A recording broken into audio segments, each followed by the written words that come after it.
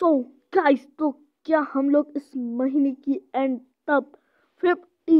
subs complete कर सकते हैं तो भाई जल्दी से सब्सक्राइब के बटन को दबा दो